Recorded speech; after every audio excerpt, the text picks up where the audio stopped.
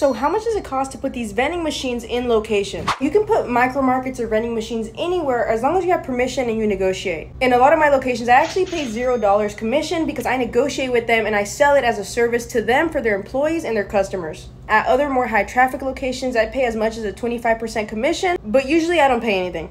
If you'd be interested in a free ebook about the vending business, leave a heart down below and follow to grow your wealth.